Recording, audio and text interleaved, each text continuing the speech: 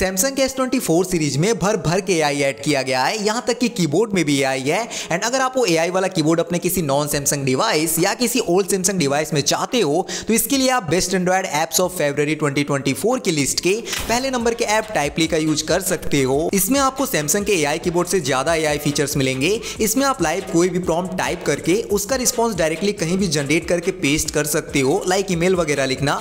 Instant किसी message का अलग अलग टोन में एक बेटर रिप्लाई दे सकते हो। किसी टेक्स्ट को प्रोसेस करके चेक कर सकते हो कि वो क्रेन साउंड कर रहा है या वो एआई जनरेटेड है या उसमें कुछ मिस्टेक है या कोई फैक्ट भी चेक कर सकते हो और भी काफ़ी सारे।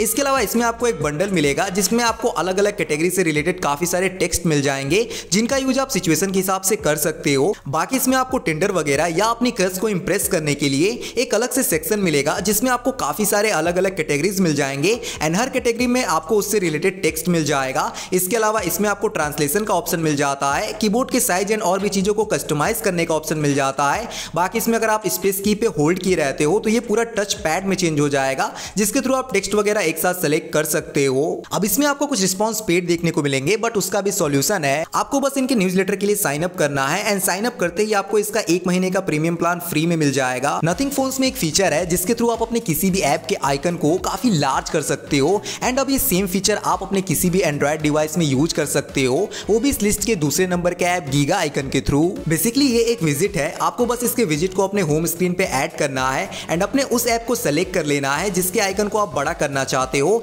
एंड सेलेक्ट करते ही उस ऐप का आइकन कुछ ऐसे शो होने लगेगा। आप चाहो तो इसके साइज़ को अपने हिसाब से एडजस्ट कर सकते हो। टू बी ऑनेस्ट मुझे इस ऐप को यूज़ करने से पहले ये लगा था कि दिखने में काफ़ी क्रिंज लगेगा बट ऐसा नहीं है। ये दिखने में काफ़ी कूल लग रहा है तो एक बार ज़रूर ट्राई करना। आपके साथ भी अक्सर ऐसा होता होगा कि अगर आप कहीं कोई टेक्स्ट टाइप कर रहे हो या आपने कोई इंपॉर्टेंट टेक्स्ट कॉपी किया है तो वो गलती से डिलीट हो जाता है, या जो आपने इंपॉर्टेंट टेक्स्ट कॉपी किया है, उसको आप यूज़ करना भूल जाते हो, या पेस्ट करना भूल जाते हो तो उस केस में आप इस लिस्ट के तीसरे नंबर के ऐप टाइप कीपर को ट्राई कर सकते हो। बेसिकली ये आपके हर उस टेक्स्ट को सेव करता है, जिसको आप टाइप करते हो, या कहीं से कॉपी करते हो एंड उन सब टेक्स्ट को डेट एंड टाइम के हिसाब से आप इसके ऐप में देख सकते हो। इवन आप ये भी देख सकते हो कि आपने कौन से ऐप में क्या टाइप किया था एंड जब आपने वो टाइप किया था तो आपके फ़ोन की बैटरी कितनी थी एंड इन सारे टेक्स्ट को आप दोबारा कॉपी करके यूज़ भी कर सकते हो, इसके ऐप में आपको टेक्स्ट टाइपिंग एंड क्लिप्स का अलग अलग सेक्शन भी मिल जाएगा। एंड अगर आप चाहते हो कि कुछ स्पेसिफिक एप्स के टेक्स्ट ये सेव ना करे तो उन एप्स को आप मैनेज एप्स वाले ऑप्शन में आके ऑफ़ कर सकते हो। अगर आप किसी ओकेजन या बर्थडे विशेष के मैनुअल रिप्लाई नहीं देना चाहते तो इसके लिए आप एस ऐप का यूज़ कर सकते हो। आपको इस ऐप में प्लस पे टैप करना है एंड नीचे आपको एक रिप्लाई का ऑप्शन मिलेगा। इस पे टैप करके आपको पहले वो रिप्लाई ऐड करना है, जो आप देना चाहते हो। लाइक यहाँ मैं लिख देता हूँ सेम टू यू फिर सेव रूल पे टैप कर देना है। एंड फिर आपको रिप्लाई वाले टेम्पलेट पे क्लिक करना है एंड एनी ऐप पे टैप करके आपको वो ऐप सेलेक्ट करना है जिस पे आप ऑटो रिप्लाई देना चाहते हो। आप एक साथ कई सारे ऐप्स को सेलेक्ट कर सकते हो। फिर आपको फ्रेज पे टैप करके एड फ्रेज पे टैप करना है एंड वो फ्रेज डालना है जिस पे आप ऑटो रिप्लाई देना चाहते हो। जैसे यहाँ मैं लिख देता हूँ हैप्पी होली आप चाहो तो काफ़ी सारे फ्रेज ऐड कर सकते हो एंड इसके बाद अप्लाई फ़िल्टर पे टैप करके सेव रूल पे क्लिक कर देना है। अब जब भी आपको व्हाट्सएप या सिलेक्टेड ऐप में कोई हैप्पी होली लिख के भेजेगा तो ऑटोमेटिक उसको सेम टू यू का रिप्लाई चला जाएगा। मेक श्योर कि आपने जो भी ऐप ऑटो रिप्लाई के लिए सेलेक्ट किया है, उसका नोटिफिकेशन बंद ना हो, क्योंकि अगर नोटिफिकेशन बंद होगा तो इस ऐप को पता नहीं चलेगा कि आपको कोई मैसेज रिसीव हुआ है। बाकी ऑटो रिप्लाई के अलावा इसमें आपको काफ़ी सारे यूजफुल फीचर्स मिल जाते हैं, जिनको आप एक स्पेसिफिक मैसेज या ऐप के लिए सेट कर सकते हो। रिसेंटली माइक्रोसॉफ्ट ने अपना separate AI app Microsoft Copilot Android के लिए लॉन्च कर दिया। एंड सबसे अच्छी बात इस ऐप की यह है कि इसमें आप फ्री में जीपीटी फोर का यूज़ करके कोई भी इमेज या रिस्पॉन्स जनरेट करा सकते हो। All you need to do is कि इसमें आपको बस माइक्रोसॉफ्ट अकाउंट से साइन इन करना होगा and you are good to go अगर आप पिक्सल डिवाइस के ऑफिशियल ग्लोबल सर्च बार को अपने किसी भी डिवाइस में यूज़ करना चाहते हो तो इसके लिए आप इस लिस्ट के सिक्स नंबर के ऐप पिक्सल सर्च का यूज़ कर सकते हो. बेसिकली ये एक विज़िट है। इसके विज़िट को होम स्क्रीन पे सेट करने से पहले आपको इसके ऐप को ओपन करके इसके सारे परमिशन को ग्रांटेड कर देना है एंड इसके सर्च बार को होम स्क्रीन पे ऐड कर देना है एंड अब अगर आप इसमें कुछ भी सर्च करते हो तो ये ऑनलाइन के साथ साथ आपके ऑफलाइन के फाइल्स को भी शो करेगा, यानी जो भी फाइल्स आपके डिवाइस में वो भी इसमें दिखेंगे तो काफ़ी यूजफुल है ट्राई ज़रूर करना। अगर आप छोटी छोटी चीज़ों के लिए कई सारे ऐप्स अपने फ़ोन में नहीं रखना चाहते या इंस्टॉल नहीं करना चाहते तो इसके लिए आप इस लिस्ट के सातवें नंबर के ऐप टूली को ट्राई कर सकते हो। इसमें आपको हर कैटेगरी से रिलेटेड काफ़ी सारे टूल्स मिल जाएँगे like text tools image tools calculation tools development tools and और भी बहुत सारे तो काफ़ी यूजफुल ऐप है ट्राई ज़रूर करना।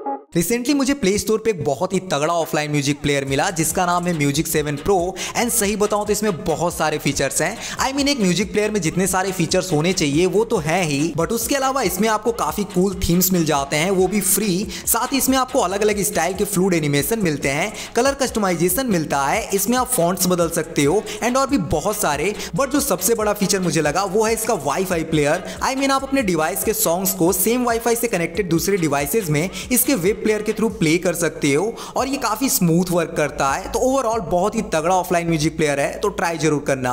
वॉलपेपर्स के लिए तो आपने काफ़ी सारे वॉलपेपर ऐप यूज़ करे होंगे, पर जो इस लिस्ट में नौवे नंबर पे वॉलपेपर ऐप है, जिसका नाम है रिदम वॉल इसमें आप खुद का वॉलपेपर एआई के थ्रू जनरेट करा सकते हो। इसमें आपको काफ़ी हाई क्वालिटी के एआई जनरेटेड वॉलपेपर्स मिल जाते हैं, जिन्हें आप डाउनलोड कर सकते हो। साथ ही इसमें आपको अलग अलग कैटेगरीज भी मिल जाते हैं एंड प्लस आप डेली इसमें पाँच वॉलपेपर एआई के थ्रू खुद का प्रॉम्प्ट दे के जनरेट भी कर सकते हो। एंड जनरेट हुए वॉलपेपर को आप 4x तक आप स्केल भी कर सकते हो। तो काफ़ी सही ऐप है ट्राई ज़रूर करना। अगर आप अपने डिवाइस में नॉर्मल वॉलपेपर यूज़ करते करते बोर हो गए हो तो अब आप ट्राई करो सुपर वॉलपेपर जिसमें आपको आपके लॉक स्क्रीन पे कुछ ऐसा वॉलपेपर दिखेगा। एंड जैसे ही आप अपने फ़ोन को अनलॉक करोगे तो वही वॉलपेपर कुछ ऐसे ट्रांसफॉर्म हो जाएगा।